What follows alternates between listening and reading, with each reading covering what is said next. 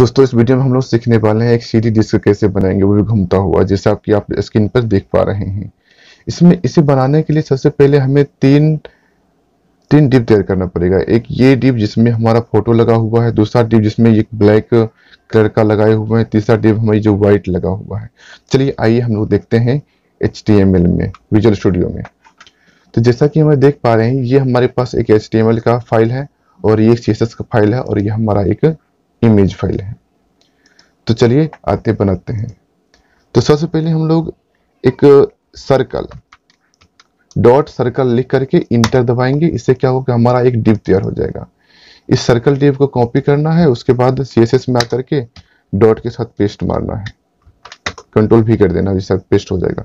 तो सबसे पहले हम लोग इसमें लेने वाले हैं बॉर्डर ताकि हमें ये दिखे। बॉर्डर एक पिक्सल सॉलिड वो भी ब्लैक। उसके बाद हम लोग लेने वाले हैं इसमें, इसको डिस्प्ले जो है हमारा, इसको इनलाइन कर देंगे। इससे क्या हो कि जो भी हम कंटेंट जितना भी हाइट वाइट के लेंगे, ये नॉर्मली खुद से एडजस्टमेंट कर लेगा।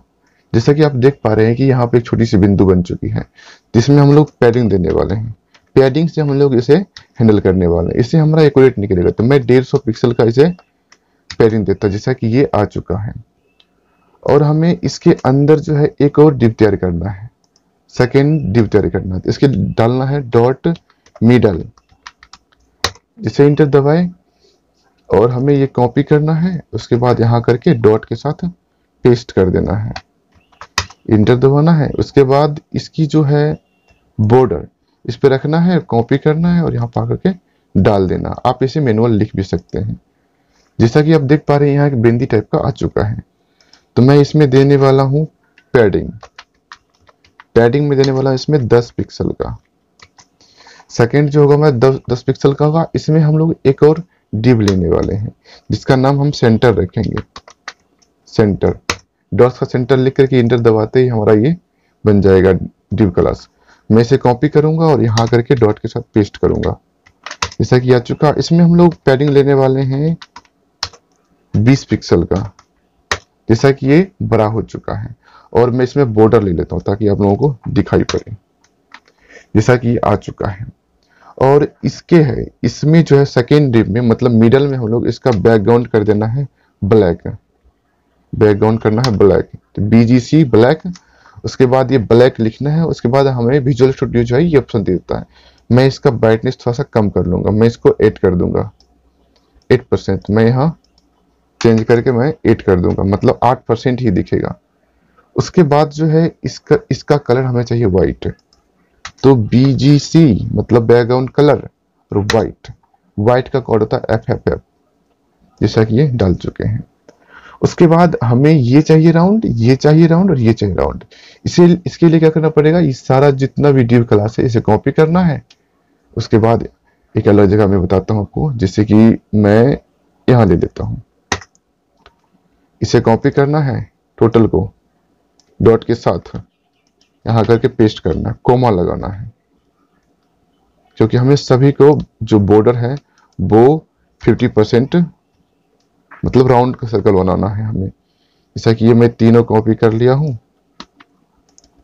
तो ध्यान रखना, इसे जो है, ये डॉट डॉट के साथ लिखना है और ये कोमा के साथ बंद कर देना है। तो मैं पेस्ट लगा पेस्ट कर चुका हूँ। बाकी सब जो है मैं कर चुका हूँ, इससे मैं इसमें लगाता हूँ, अगर ये पूरा राउंड चाहिए तो राउंड के लिए हमें चाहिए बॉर्डर और रेडियस अगर हम लोग 50 परसेंट कर देते तो ये पूरा राउंड हो जाएगा। जैसा कि देख पा रहे हैं, ये पूरा राउंड हो चुकी है।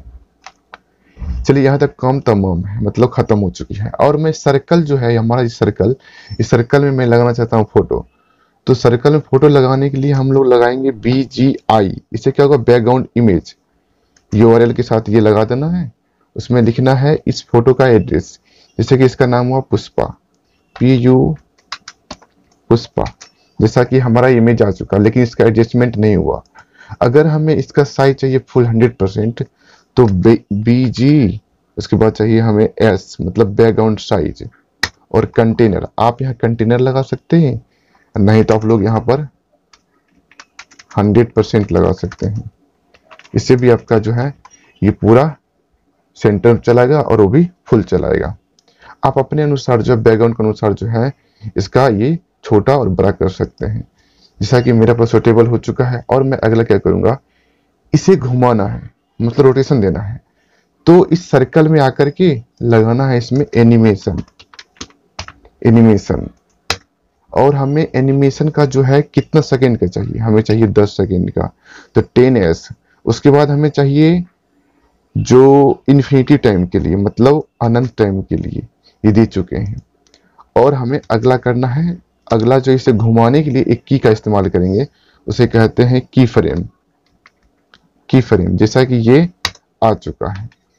उसके बाद इस, जैसे इस ये डाल देते हैं तो यहाँ इसका एनिमेशन में इसका नाम डालना है, जो इसे यहाँ डालना पड़े। तो मैं दोनों जगह अल्ट के साथ में क्लिक करता हूँ, दोनों जगह मैं नाम लिखता हूँ। इसका नाम लिखता हूँ सर्कल सर्कल आप अपने अनुसार जो भी मन वो रख सकते हैं। चलिए, यहाँ तक हो चुकी है। मैं ये लगाता हूँ, उसके बाद मैं इसे टू टू लगा करके इसे ये करके उसके बाद करना है इसमें, लगाना है रोटेशन सॉरी ट्रांसफॉर्म ट्रांसफॉर्म उसके बाद लगाना है रोटेट कितना में चाहिए? 360 का। उसके बाद डिग्री के लिए डी ई जी लगाना है। जैसा कि देख पा रहे हैं, ये घूम रहा है। लेकिन ऐसा क्या हो रहा है कि ये चल के रुक रहा है, फिर चल के रुकेगा।